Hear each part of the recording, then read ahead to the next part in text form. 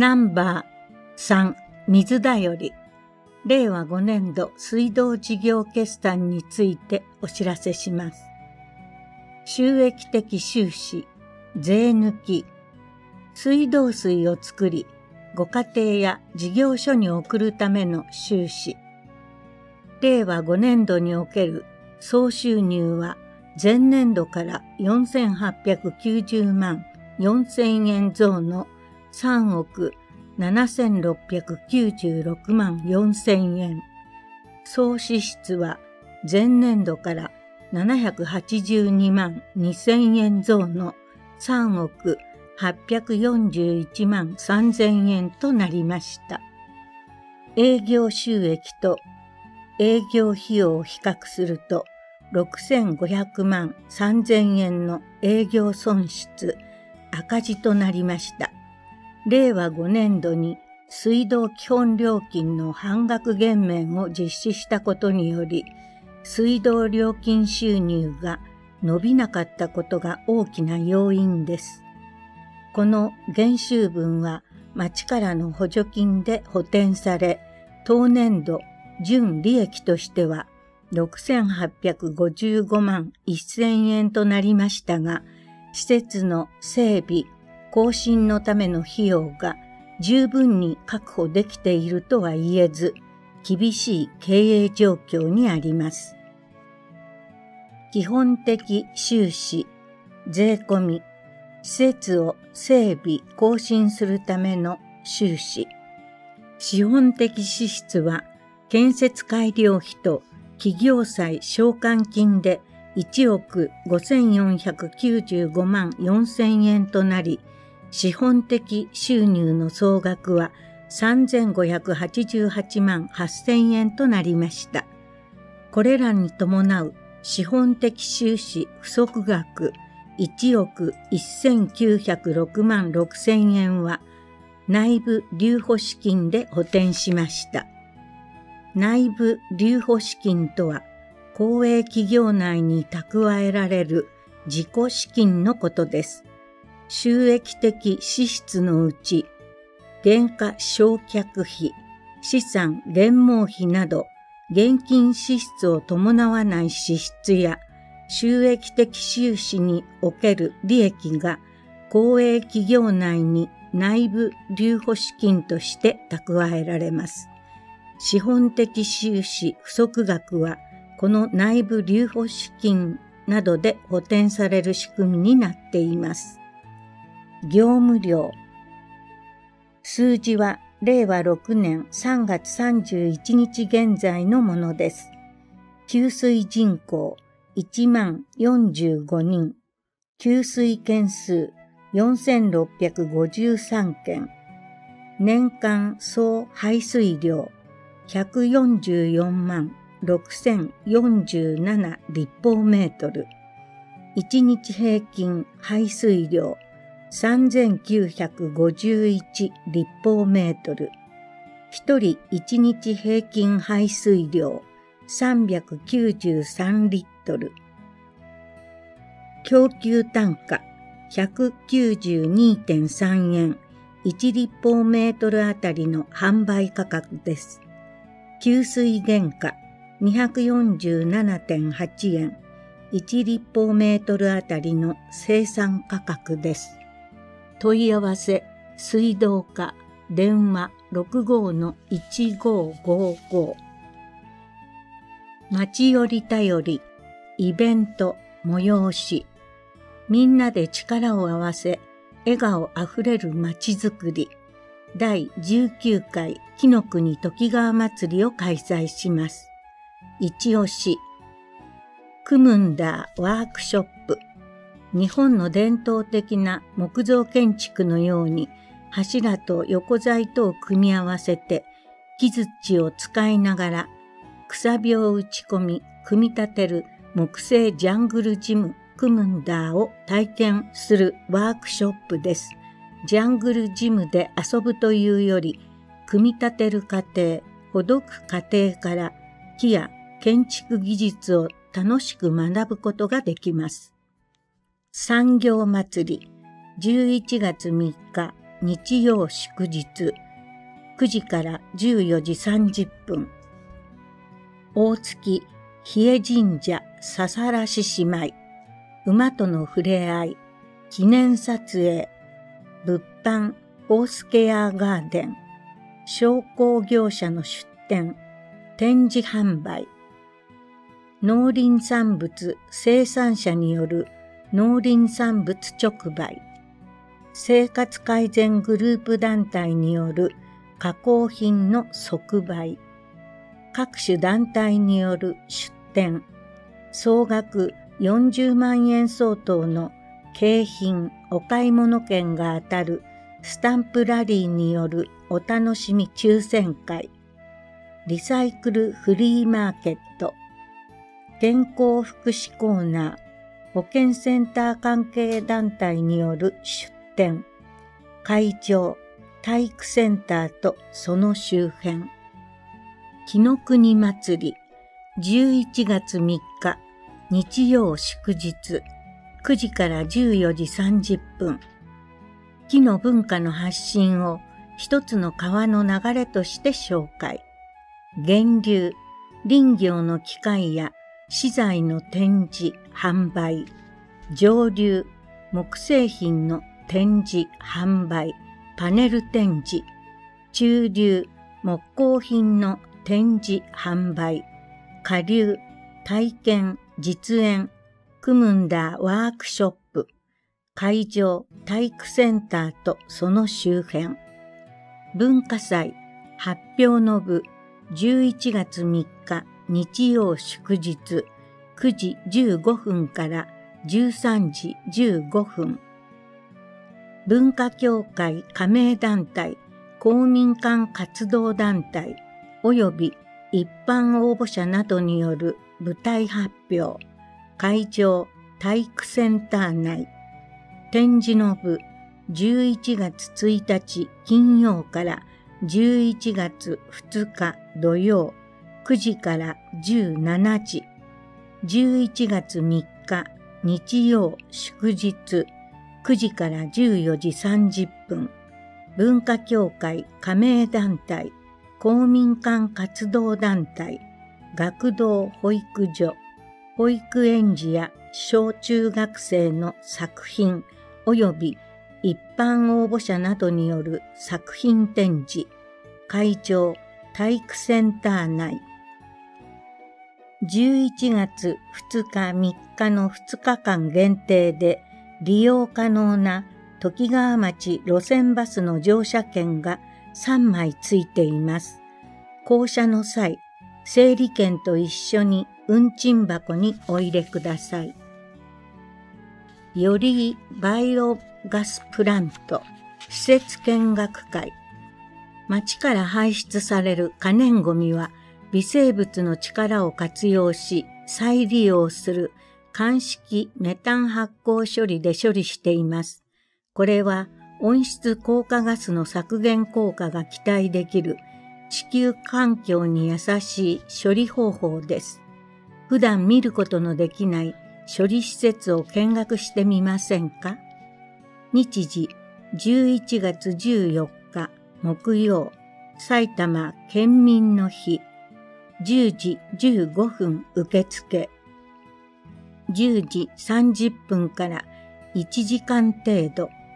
場所オリックス資源循環株式会社よりバイオガスプラント。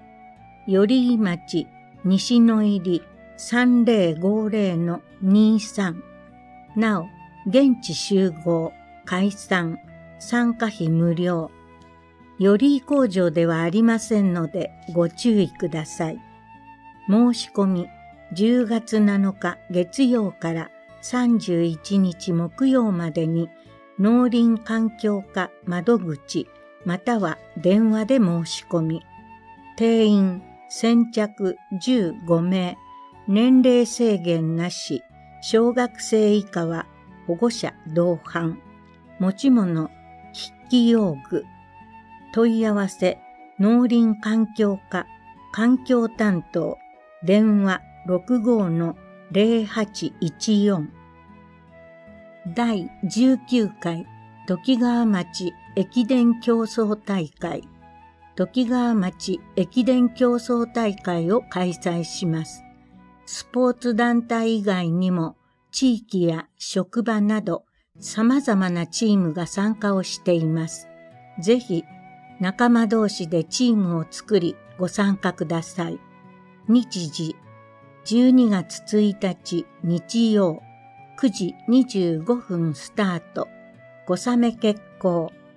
部門第1部7区間 11.8km。丸1一般高校生以上。丸2中学生男子。第2部8区間 11.8km。丸1小学生男女。丸2中学生女子、丸三、35歳以上、女性は年齢制限なし、申し込み10月25日金曜までに体育センターまたは障害学習課へお申し込みください。申し込み用紙は上記窓口に用意します。区間、距離及びコース、第1部。1区。1.5km 西平運動場から池の入り。2区。2.5km 池の入りから色彩館入り口。3区。1.5km 色彩館入り口から時川木工協同組合。4区 1.3km 時川木工協同組合から上郷農村センター。5区 1.5km 上郷農村センターから寺家バス停。6区 1.6km 寺家バス停から和田橋7区 1.9km 和田橋から玉川運動場の計 11.8km。第2部は第1部の2区のみ2つに分け、2区 1.3km、池の入りから小伊勢橋、3区 1.2km、小伊勢橋から色彩館入り口とし、他の区間は第一部と同じです。問い合わせ、障害学習課、電話65-2656。城西大学共催健康づくり講演会健康ウォーキング講座人生の最後まで自分の足で歩くことを目的とした膝ちゃん体操などを考案した先生から簡単で痛みのない体の使い方や病気を予防し楽しく続けるためのウォーキングの極意を学びます。日時11月9日土曜13時30分から15時会場玉川公民館2階行動南洋黒田恵美子さん一般社団法人ケアウォーキング普及会代表理事による講演会簡単な実技持ち物飲み物動きやすい服装と運動靴対象町内在住在勤の方定員先着50名。申し込み10月7日月曜から電話で申し込み、問い合わせ、保健センター、電話65-1010第22回引き軍師人権フェスティバル。様々な人権問題への理解や関心を深めるため引き軍師人権フェスティバルを開催します。参加費無料。手話通訳あります。詳しくは、蘭山町ホームページをご覧ください。日時10月26日土曜9時30分から13時会場国立女性教育会館ヌエック南洋萩原夏子さん独立行政法人国立女性教育会館理事長による講演会オープニングセレモニー舞台発表作品展示ほか問い合わせ蘭山町役場地域支援課電話62-2152ファックス62-5935秋の読書祭り引き e ライブラリー引き広域電子図書館引き e ライブラリーは東松山市、滑川町、蘭山町、小川町、川島町、吉見町、時川町にお住まいの皆さんがご利用できるサービスです。7市町それぞれの公立図書館で引き e ライブラリーを活用したイベントを行います。どの市長のイベントにもご参加いただけます。町外の詳細はイベントを実施する市長の公立図書館へお問い合わせください。時川町立図書館日時10月19日土曜11月16日土曜丸1 10時30分から丸2 14時30分から南洋丸一、電子図書お話会。丸二、電子図書館操作説明会。対象、丸一、0歳児以上。丸二、小学生以上。予約、丸一、予約不要。丸二、図書館カウンターで予約。12名までです。問い合わせ、町立図書館、電話。65-4858戦没者。追悼式。先の大戦において亡くなられた方々を追悼するとともに高級平和を願うため時川町戦没者追悼式を開催します。日時11月21日木曜10時から会場文化センター大ホール南洋黙祷追悼の言葉献花申し込み10月25日金曜までに福祉課へお申し込みください。なお、参加費無料。会場、定員になり次第締め切ります。問い合わせ、福祉課電話65-0813ここまでの担当は大久保でした。脳の健康度テスト認知症は今や誰もが関わりうる身近なものとなっています。しかし近年、日頃の生活習慣や心がけ次第で予防できることが分かってきました。ご自身の脳機能の得意、不得意を知り、認知症予防のための脳の鍛え方を一緒に考えてみませんか？日時11月6日、27日、いずれも水曜、13時30分から15時30分。場所、保健センター。対象、町内在住の65歳以上の方。先着30名。内容1日目、認知症予防についての話。5コグ検査。5コグ検査とは、認知症となる前に低下しやすい記憶、注意、言語、思考などの側面から脳の認知機能を測ります。スクリーンを見て音声を聞きながら行うテストで、所要時間は1時間ほどです。あくまで脳機能の傾向を知って予防に役立てるものであり、認知症かどうかを調べる検査ではありません。二日目、結果返却と見方の説明。脳機能アップ方法の紹介と実践。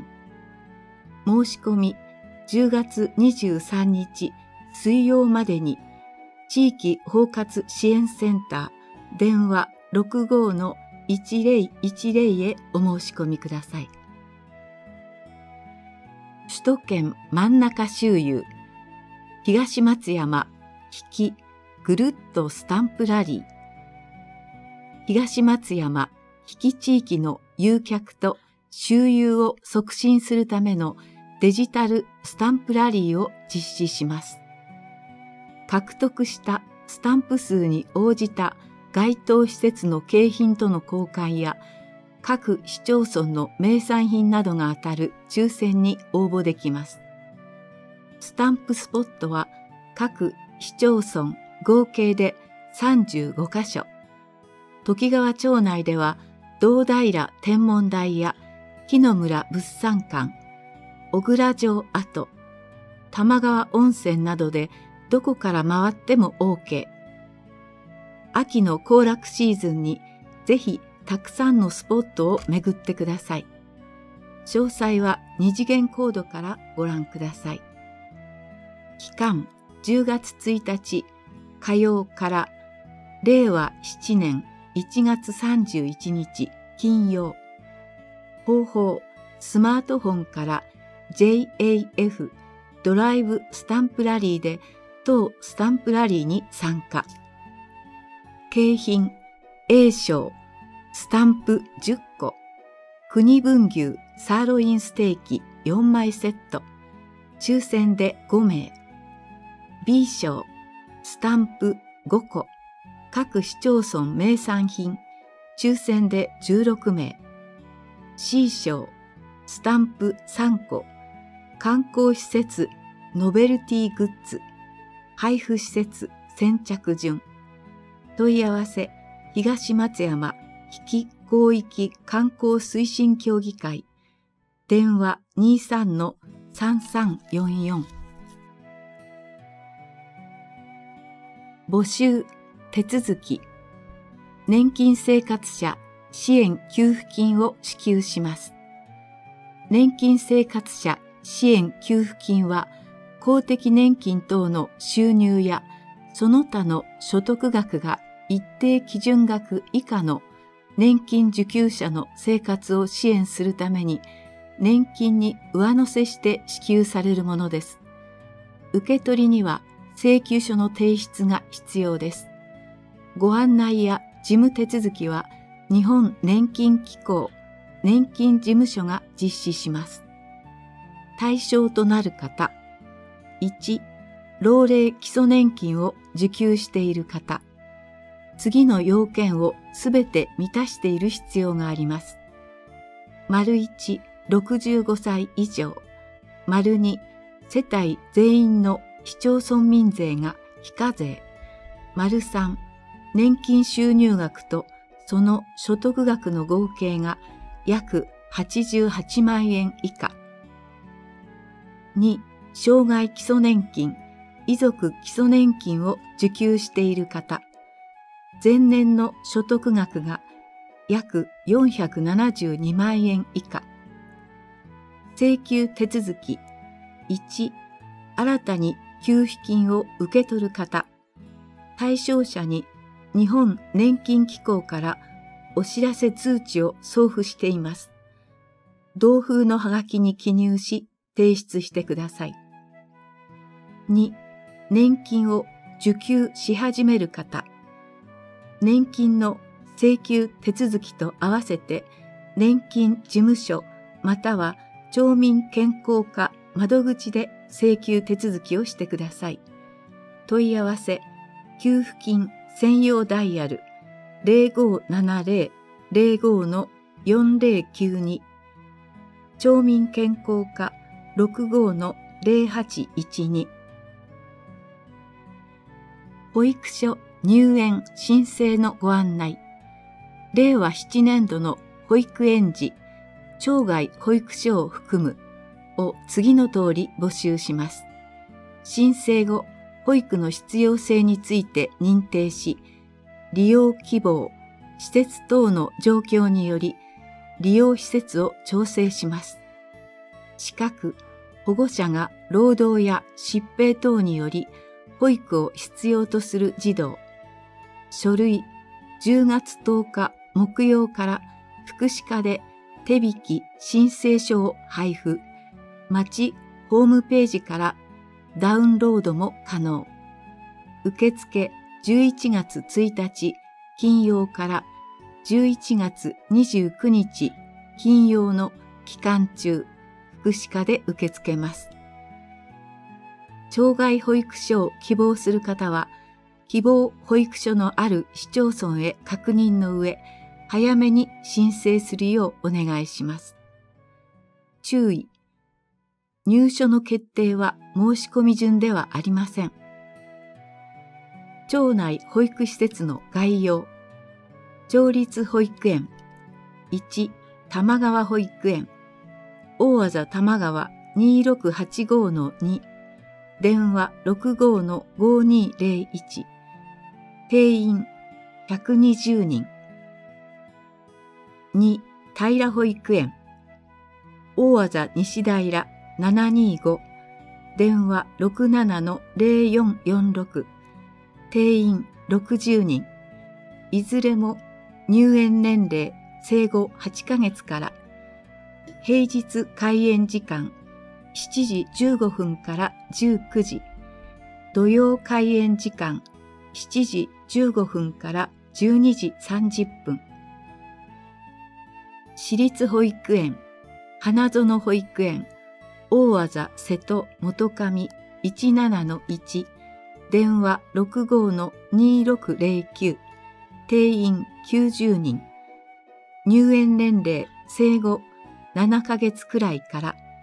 平日開園時間7時15分から18時45分。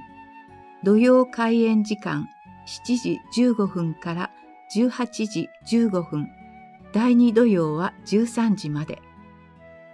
私立認定こども園光の村こども園保育所機能部分大技瀬戸元上21-1電話65-1359定員20人入園年齢3歳児から平日開園時間7時15分から18時15分土曜開園時間7時15分から18時15分第2土曜は13時まで給食、いずれの施設も完全給食です。